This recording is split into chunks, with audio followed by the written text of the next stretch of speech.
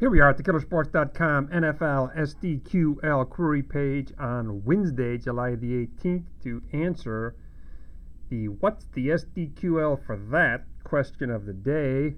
Interesting one today. Which team only had two games last season in which they both outrushed their opponent and had more passing yards than their opponent, but they lost both games? Not only did they lose, they were shut out see how we do that. Rushing yards greater than opponent's rushing yards. And passing yards greater than opponent's passing yards. And season equals 2017. And we want to group it by team.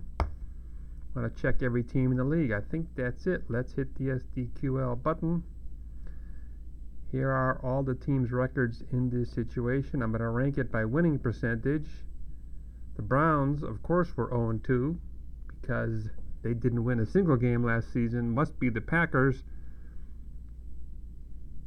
There are the Packers' two games. They lost 23 0 and 16 to nothing in the only two games last season in which they had both more rushing yards and more passing yards than their opponent.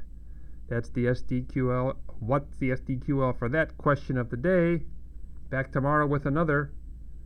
Thanks for watching.